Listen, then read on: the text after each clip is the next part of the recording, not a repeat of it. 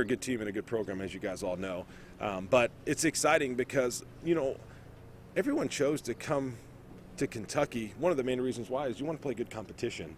And when you sit there and you look at our schedule, so far we've played three teams ranked in the top ten. We've had over nine. We've had nine games against teams that have been ranked in the top ten. And um, Louisville is a, a, program that's traditionally there. Obviously, they're not there right now, but um, it's exciting for our guys. And you know, I've always said anytime they're doing good and we're doing good, that's really good for our state because you're going to see the attendance and the crowds and the people getting involved. So, um, just another really good test.